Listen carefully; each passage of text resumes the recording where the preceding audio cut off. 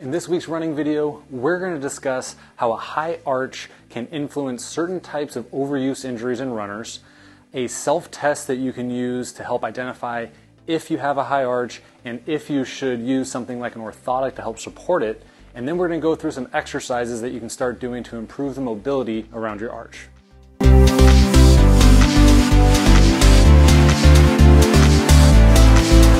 Okay, so first we're just going to talk about what a high arch is and is it something that you have to be concerned about. So the, the arch that we're talking about in this video is a very high arched, rigid foot that has very limited mobility. And we're going to go through some self-tests that you can look at to see if you fall into this category. But the reason why we want to identify this is that sometimes runners are experiencing uh, these overuse injuries year after year, and it follows a particular pattern. So when people have a high arch, what happens is is that they have a hard time actually getting through towards their big toe on the inside portion of the arch, so they're not getting good shock absorption. So many people have heard of the term overpronation, but these individuals, they actually underpronate, so they're underpronators. We need to encourage a little bit more motion at the ankle, at the um, uh, arch to allow for absorption of force more effectively. So when the arch is high, it's rigid, that what happens is the weight of the body stays more on the outer part of the foot. So this causes excessive loading through the outer part of the, the toes, the metatarsals, the lower leg, up through the knee and into the hip. So common overuse injuries that these runners uh, will experience are going to be anything from metatarsalgia on the outer part of the metatarsals, peroneal tendinopathy, IT band syndrome, and hip pain. So this is an important area for runners who just keep experiencing those types of symptoms. So a very simple test that you can do for yourself to see if you need to work on some of your mobility and improve some of the arch flexibility is just a simple stance test. So all you're going to do is stand with your feet firmly planted in the ground. Try to keep a tri tripod posture, so keep weight in your heel, your big toe, and then out towards your little toes. So just try to find some balance with that. And then you're going to push firmly into the ground. And then from here, you're going to start rotating side to side. And this is very helpful if you just actually record yourself doing it. So set up a camera on the ground so you can then look at what your arches are doing after you do this test. So you just go back and forth, back and forth. As you get a little more used to it, you can then get a little bit more speed behind it, a little bit more momentum, so you can see what the arches are doing. So with this test, and you go back and look at your video, we want to look at a few things. So we want to see how the arches are moving from side to side. When we rotate and we are taking our limbs into internal and external rotation, we want to be able to see the foot collapse down a little bit through the arch, and then we rotate the opposite way in an external rotation, we want to see the arch come back up. So that would be more of a normal shock absorption pattern for the arch. People who underpronate or have very high arches, they're going to have very limited motion or very limited um, absorption through that arch um, when we go into internal rotation. So if you see that in the video, then these exercises that we're going to be going over are likely going to benefit you. Now, in some rare cases, I've probably seen maybe three of these in the 12 years that I've been treating runners is that you might see people with high arches, and when they do this test, they actually go from a very high arch and they come all the way down to the ground, all the way up, all the way down. And when you actually examine the foot, they have a lot of flexibility through their foot. So now these are to be individuals who actually have high arches, and they might benefit from using a orthotic or something to help um, control that amount of motion because they are uh, pronating too much and it's uncontrolled. So those individuals are likely going to need some sort of orthotic, uh, whether it's custom or just one off the shelf to help absorb some of the excessive motions going through the foot. But if you do identify that you are having limited motion, then an orthotic actually is not likely going to help you. And we hear this a lot that when people have very high arches, that they might even just say, just because they read something or they were told by a friend, whatever it is, that, oh, I know I have high arches, I really should use arch supports. And it's like, well, no, not necessarily. Because again, we need the arch to absorb some of the ground reaction force during running. So if you have a very rigid arch and you have trouble getting through into more pronation to absorb that shock, then if you have a um, arch support that's pushing up into the arch, so then it literally can't move into that range of motion now, you're just making the problem worse. So many people will still experience the same amount of symptoms or even worsening symptoms because now any motion that they did have is being completely negated by the orthotic and just keeps their weight more on the outside part of their foot, putting more strain through the outer foot, outer lower leg, knee, and hip. What are some exercises that you can do to start working on this? So we're gonna go through a handful of exercises, start working on some mobility.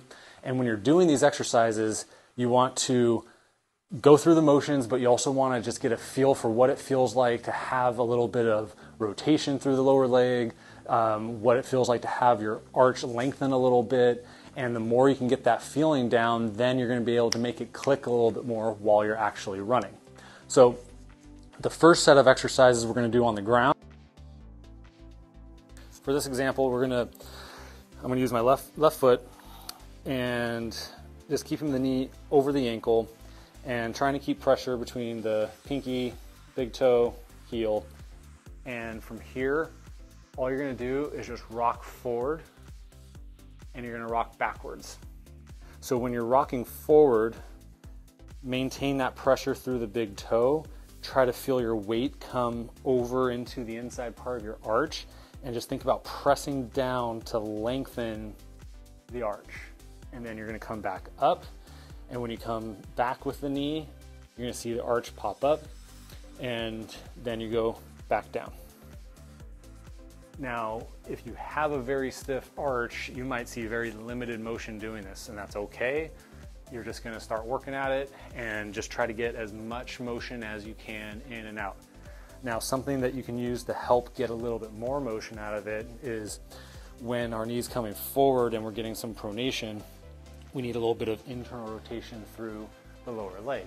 So what you can do with your hands is actually grab onto the lower leg and as you're going forward, try to just twist and then bring it back out. So you're trying to twist inwards, trying to again flatten out that arch. And you'll just go in and out. So you'll do this about 20 times or so. Now, one other thing that you can try if again, you're not seeing too much motion, not feeling too much of a lengthening in the arch, you can use just a hand towel and fold it in half, maybe a couple more times, just to give you a little bit of a prop. And you're gonna put this on the outer part of your foot. So then it actually will allow your big toe to come down a little further and it will really cause more pronation through this whole area. And you do the same drill. So you're just gonna lean forward and trying to just press through the big toe, trying to lengthen through here, in and out about 20 times. So if you feel a nice little stretch or some lengthening with the towel there, then this can be a good option for you. Okay, so now the next series, we're gonna do in a standing position, and we're gonna use our body weight to take us in and out of pronation, supination, and just trying to go um, between those nice and easy. So I'm gonna keep my foot planted, pinky, big toe, heel, and I'm gonna step back and out this way. So when I do that, I'm gonna get some internal rotation going in my, my lower extremity, pressing down through my arch and trying to put a little bit of pressure through the big toe and that inside part of the arch.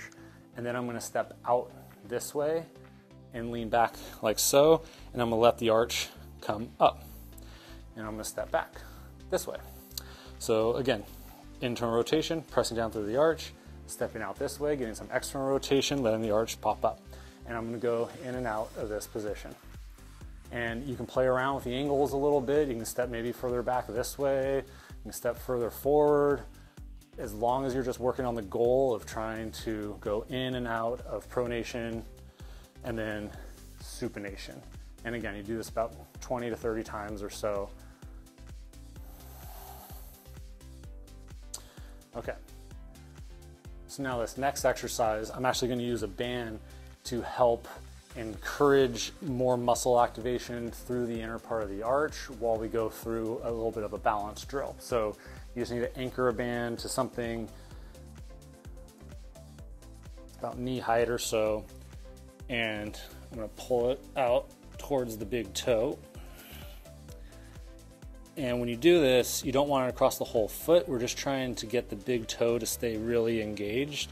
So I'm just putting it underneath this first um, metatarsal phalangeal joint. So from this position, I have to push really firmly down through my big toe. I can already feel my arch engaging, but I'm also still feeling the pinky and the heel on the ground, so a nice tripod stance. And then from here, I'm gonna do what's called a kickstand or a B stance deadlift. So from here, this foot is just giving me a little bit of balance, and then I'm going to shift through my hip, and I'm gonna come back up. So I'm just trying to bring some awareness to the foot, inside part of the arch, and getting my glute max working, and hamstrings. So I'm just gonna go in and out of this position. And then for a little bit more of a challenge, then you can go into a um, full single leg deadlift to where this leg's gonna come back, keeping the pressure through the big toe, keeping the hips square to the ground in front of you. You're not rotating off of it. It's a little bit more challenging, like I said. And then coming back to the starting point. And right now, my arch is burning, my lower leg muscles are burning. Just trying to get the entire limb to communicate with each other. Okay? All right, and the final exercise is just getting used to what it feels like to actually move and get your weight through the inside part of your arch. So just first by uh, just taking some steps, just really focus on coming down, landing, and then just pressing through your big toe. So it's really slowing it down and just getting a feel for letting your weight shift through big toe. And if you're having a hard time getting into the big toe or you just can't feel that, that awareness, that weight shift, then you can just put yourself in that position. So this time actually lift the little toes off the ground and just take some small steps like that. And just trying to see what it feels like to get onto the inside part of your arch. You can walk forward, you can walk backwards. And then after you do that for 20, 30 steps, then try going back to regular walking, trying to push through the big toe. Okay? So that's just trying to, again, build that awareness while you're actually moving, something that's gonna be a little bit more applicable to running.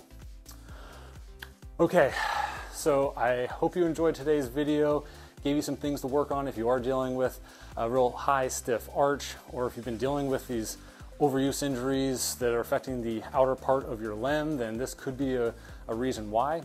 If you have any questions at all, please comment in the section below. I'm happy to answer your questions. If you have any other thoughts or ideas on any other content you'd like to see, uh, please leave that in the comment section as well, because we're always looking for new content to make, and I want to make it a little bit more individual for the viewers who are watching our channel. So if you take a second to do that, it's greatly appreciated. So until the next video, thanks for watching. See you on the next one.